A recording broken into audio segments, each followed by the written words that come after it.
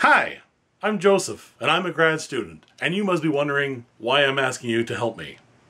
Well, I'm originally from Northern Ontario, from a small town by the name of Chapleau. But now, I'm currently living here in Quebec City, studying at Laval University to pursue a career as a professional historian. Yes, you heard that right historian. I'm not talking about History Channel history.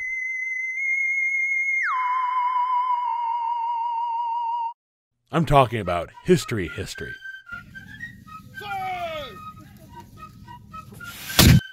In fact, my specialty is studying early North America before 1763.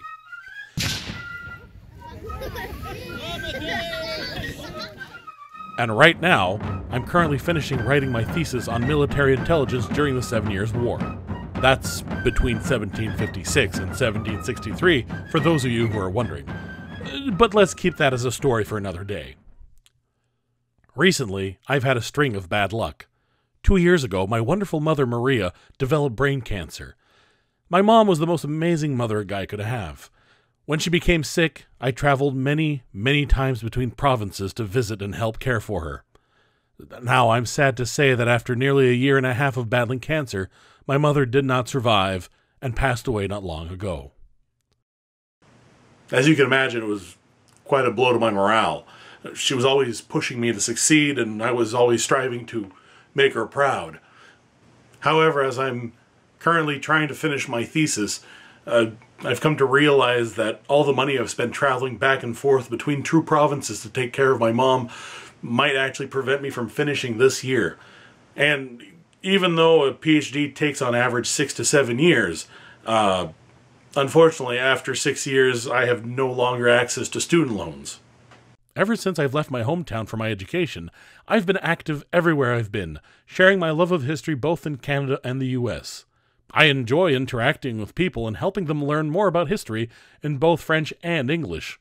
My goal in life is not only to become a university professor, but also to be a public educator at large.